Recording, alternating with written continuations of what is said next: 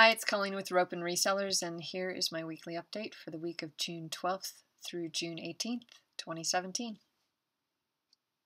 Only sold 10 things this week. First up, I had this uh, Cranston, it's a fabric panel, and you can make a little snowman. I picked it up at a thrift store for 50 cents, sold for $9.99. Uh, 427 eBay, PayPal fees and shipping to me was 427 for a total of 522. That took 8 months to sell. I sold some Lego base plates. So I've had these Legos sitting in my eBay closet for quite a while in the Unlisted pile. And uh, I just pieced together some base plates to try to eke a little bit more money out of what I had. So I put five of these together. I sold them for $19.99. They were about $2. I paid $20 for this giant bin a couple years ago at a garage sale. 661 for eBay fees, PayPal, and shipping for a total profit of 1138 and that only took one day. So sometimes Legos, if you price them right, can go really quickly. I sold this uh, serving casserole spoon. It looks smaller than it is. Um, it's a W.M. Rogers. It's just a silver plate. It's not anything super fancy, but it's pretty old. I sold it for $9.49. My store was on sale. Everything was off 5%. 50 cents at uh, an estate sale and a big lot of things. I bought a whole big box. 406 for fees and shipping for a total profit of 493 and that took 10 months. Most of my silverware flatware is Longtail. I uh, sold this Ralph Lauren pillow case. Um, I bought it at a garage sale, the one in Coeur d'Alene. So here's that pipeline still working for me. $18.99 is what it sold for. A dollar um, is what I paid for it at the at the garage sale. Uh, eBay shipping, PayPal fees, 536 for a total profit of 1263, and that took two weeks to sell. Remember this little bear because he always sells well on whatever it is that he is on. There was one little gray stain kind of in the corner over here, but other than that, he um, in good shape. Uh, I sold this. It's like a um, bureau scarf, is what they call them. Table runner. Some people use them for. This is a little too dainty for a table runner. Um, 1188 is what it sold for, even though it says 1250 because my store was on sale. It had some stains. It wasn't perfect. It was really pretty simple and cute. Um, I sold it. Uh, I bought it a dollar twenty-five at a thrift store, four thirty-four for eBay fees and shipping and PayPal for a total profit of six twenty-nine, and that took thirteen months to sell. These are pants I picked up at a thrift store for a buck. Um, I actually bought them for myself, but they didn't look very good on me, so I sold them for eleven thirty-nine. Uh, four thirty-four for shipping, PayPal, eBay fees for a total profit of six dollars and five cents. That took two months. Here's another W.M. Rogers. This is out of another estate sale lot. Sold it for nine forty-nine. It cost me $3. Each item, I've spent $40 on this big um, box of silverware, flatware. And uh, so I figured each item cost me a dollar. There was about 40 things in there, so this actually cost me $3. Um, I paid 406 in fees and shipping for not much profit, $2.43, and it took a month other things in there have sold and they've they've actually made all the money pretty much back at this point. Um, these are folding honeycomb um, is what they're called foil Christmas decorations. They're actually really pretty cool. Um, I don't even know if I showed them folded, but anyway, uh, they're from like the 60s probably. That one was really cool.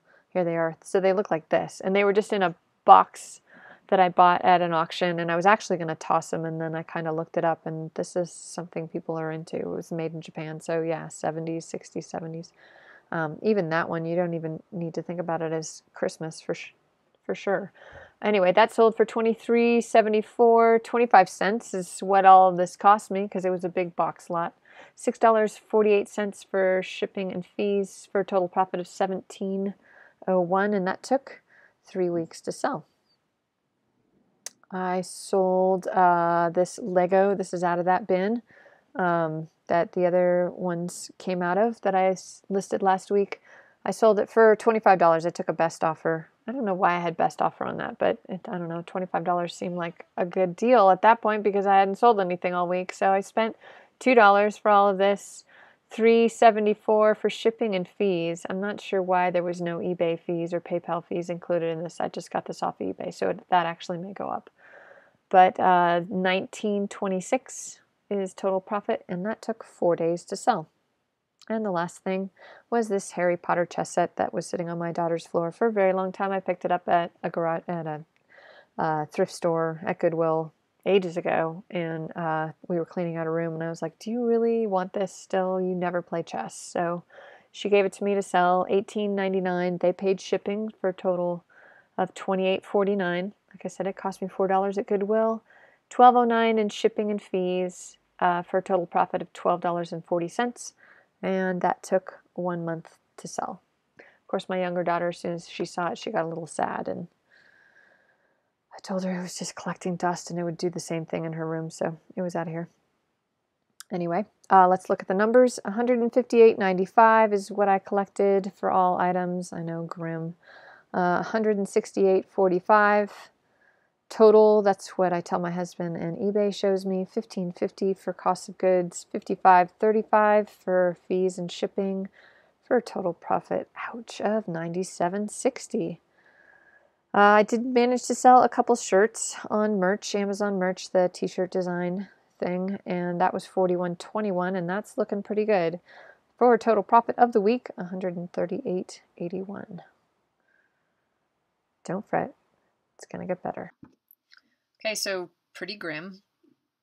Uh, that's about the worst I've done in a long time. It's not s- still as as poor as I did last year this time, but it is not as good as I was doing last month, obviously. So, um, but all I do is think about listing for quarter four and taking this slow time where I don't have to pack a ton of things and trying to get it organized for Q4 because that's where you make the most money. So I um, was trying to come up with a tip, and I guess my kids were kind of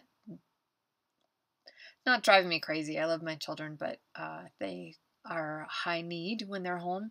So I thought, well, I can keep them busy, and they want to earn money because they're getting to be teenagers and they want stuff. So I have started putting them to work. And so, my tip for the week is if you have kids at home, try to get them involved in your business, either helping you ship or what I've found to do. Last summer, I had my son taking pictures for me. And I got a lot of pictures of clouds floating by, and the dog, and the cat, and his favorite video stuff and there was a lot of other stuff in there he couldn't really stay focused but if i found the other day when i made him work with me if he just operated the camera because he's really good at focusing he's really um, he's really picky that way like me. So anyway if i had him focus on on focusing focus on focusing the camera then i could rearrange the clothing or legos or whatever i'm taking pictures of and instead of running back and forth to my camera i could just have him do it. That way we entertained each other and we got through what would normally take me I mean, literally three hours we got done in about an hour. So it went a whole lot faster for me. Neither one of us was really distracted. We were really motivated just to get it done, and it was awesome. So uh, if you have kids at home, try to work them into your business somehow. Or if you have, if you don't have kids, then you can go to the local high school. And I know a lot of these kids are looking for just a under the table job, and maybe some of them aren't really interested in babysitting or working at a summer camp with other kids. That's not really their thing, but maybe there's some techie guy, or you could teach them how to do eBay. So I would reach out to the high school and see if they have a list of students looking for jobs, or you could post something like in your local paper or on Facebook, or tell your coworkers or friends. Um, that you're looking for a teenager to help you out over the summer and then just really bulk up your store because it'll start going down starting in about September. People start buying stuff. So just think ahead, and this could really help you add to your store. So, uh, with that, I'm sorry I'm late. We were out of town for a few days having a little end of school year celebration. We went to some hot, hot springs in Wyoming and um, I was gone. So, I'm back and my sales reflect that I was gone. So now it's time to get busy, and I hope you are too. Thanks for watching, and we'll see you next week.